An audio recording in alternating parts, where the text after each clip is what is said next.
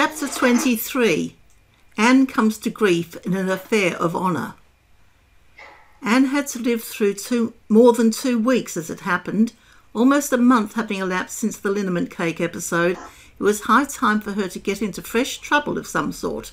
Little mistakes, such as absent mindedly emptying a pan of skim milk into a basket of yarn balls in the pantry instead of into the pig's bucket, and walking clean over the edge of the log bridge into the brook while wrapped in imaginative reverie, not really being worth counting.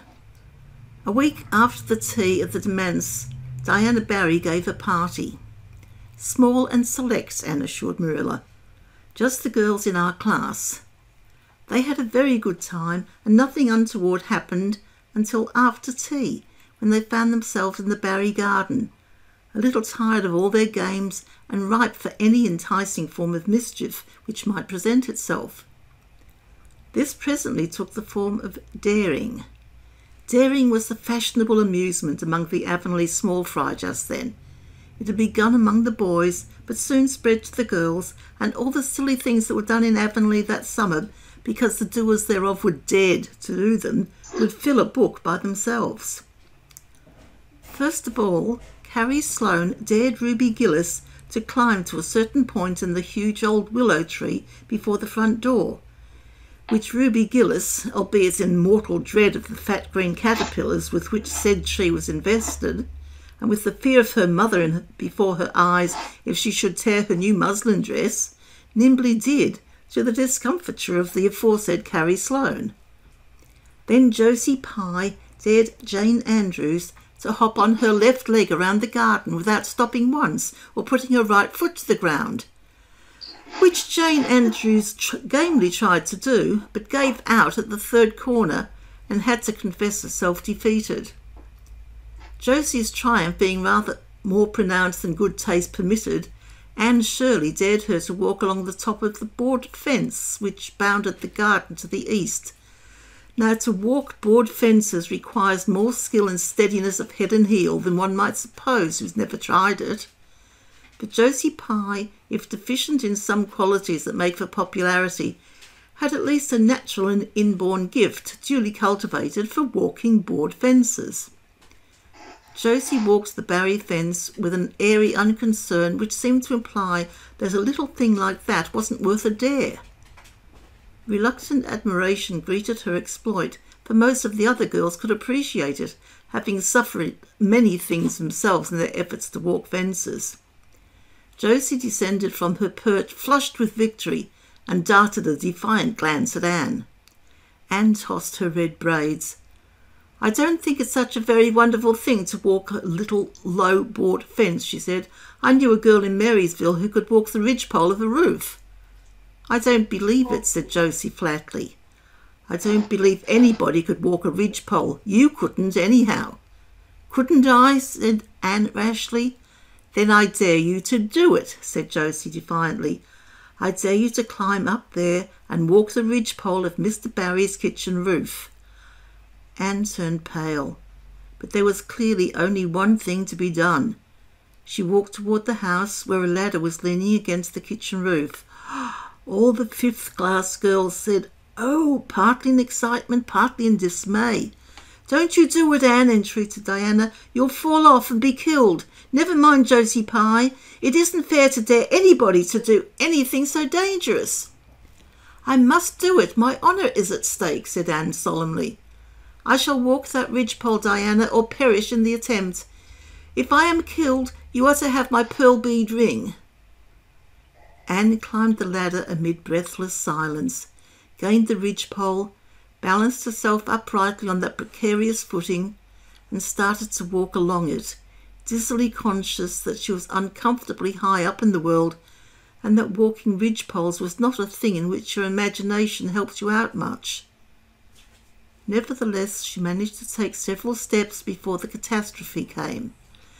Then she swayed, lost her balance, stumbled, staggered, and fell, sliding down over the sun-baked roof and crashing off it through the tangle of Virginia creeper beneath, all before the dismayed circle below could give a simultaneous terrified shriek.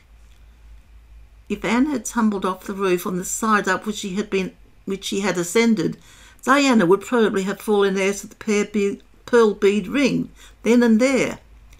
Fortunately, she fell on the other side, where the roof extended down over the porch so nearly to the ground that a fall therefrom was a much less serious thing. Nevertheless, when Diana and the other girls had rushed frantically round the house, except Ruby Gillis, who remained as if rooted to the ground and went into hysterics, they found Anne lying all white and limp among the wreck and ruin of the Virginia creep. Are you killed, Anne? shrieked Diana, throwing herself on her knees beside her friend. Oh, Anne, dear Anne, speak just one word to me and tell me if you're killed.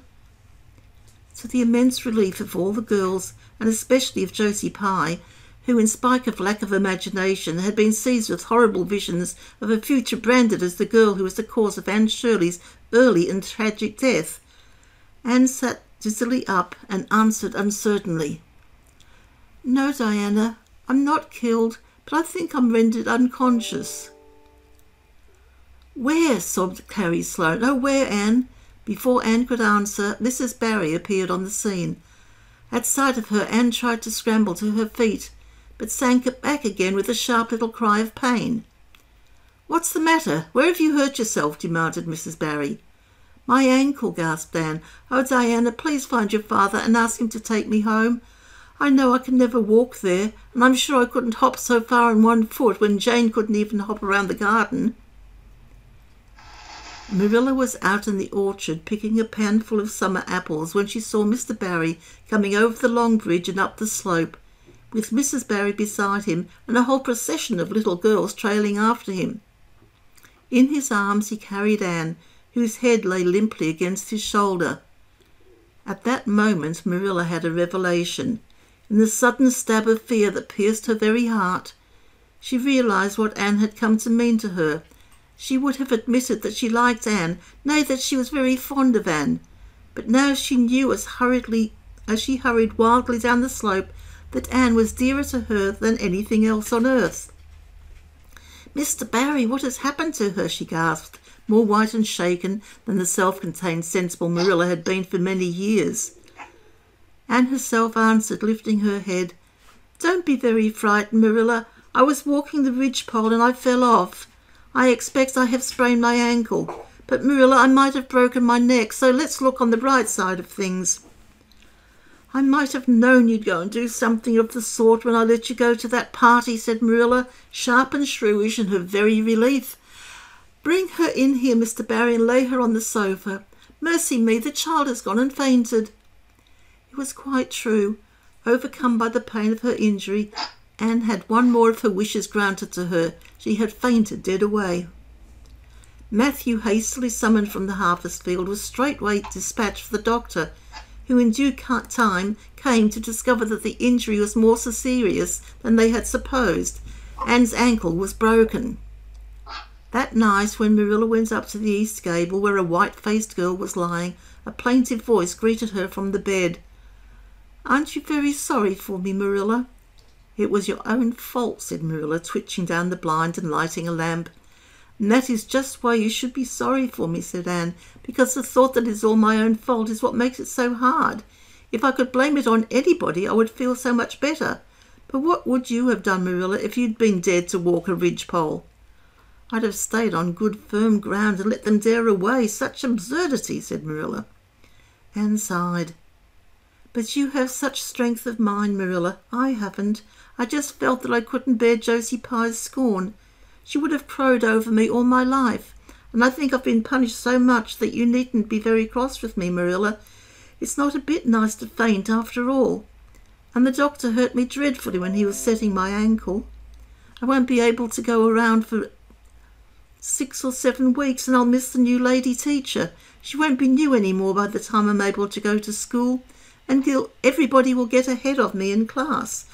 Um, I am an afflicted mortal, but I'll try to bear it all bravely, if only you won't be cross with me, Marilla. There, there, I'm not cross, said Marilla. You're an unlucky child, there's no doubt about that.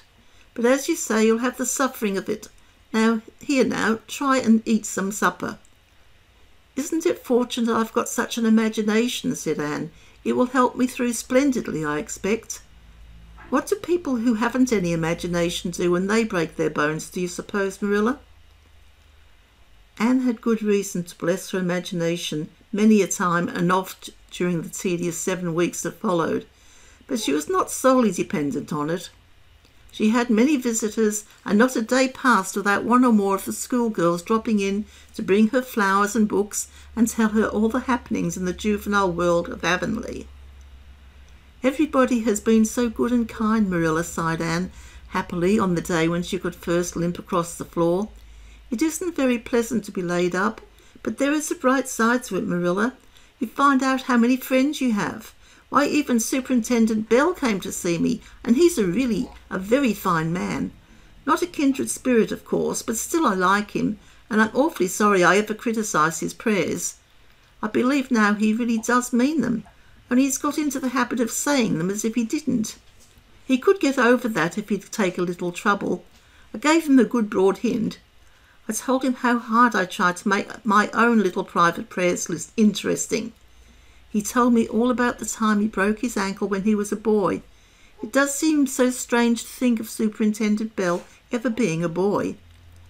Even my imagination has its limits, for I can't imagine that. When I try to imagine him as a boy, I see him with grey whiskers and spectacles, just as he looks in Sunday school, only small. Now it's so easy to imagine Mrs. Allen as a little girl. Mrs. Allen has been to see me fourteen times. Isn't that something to be proud of, Marilla? When a minister's wife has so many claims on her time, she's such a cheerful person to have visit you too. She never tells you it's your own fault, and she hopes you'll be a better girl on account of it. Mrs. Lynde always told me that when she came to see me, and she said it in a kind of way that makes me feel she might hope I'd be a better girl, but didn't really believe I would. Even Josie Pye came to see me. I received her as politely as I could because I think she was sorry she dared me to walk a ridgepole. If I had been killed, she would have had to carry a dark burden of remorse all her life. Diana has been a faithful friend. She's been over every day to cheer my lonely pillow. But oh, I shall be so glad when I can go to school, for I've heard such exciting things about the new teacher. The girls all think she's perfectly sweet. Diana says she has the loveliest fair curly hair and such fascinating eyes. She dresses beautifully, and her sleeve puffs are bigger than anybody else's in Avonlea. Every other Friday afternoon she has recitations, and everybody has to say a piece or take part in a dialogue. It's just glorious to think of it. Josie Pye says she hates it, but that's just because Josie has so little imagination. Diana and Ruby Gillis and Jane Andrews are preparing a dialogue called A Morning Visit for next Friday. And the Friday afternoons they don't have recitations. Miss Stacy takes them all to the woods for a field day, and they study ferns and flowers and birds. They have physical culture exercises every morning and evening. Mrs. Lynde says she never heard of such goings on, and it all comes of having a lady teacher. But I think it must be splendid, and I believe I shall find that Miss Stacy is a kindred spirit. There's one thing plain to see, Anne, said Marilla, and that is that your fall off the Barry roof hasn't injured your tongue at all.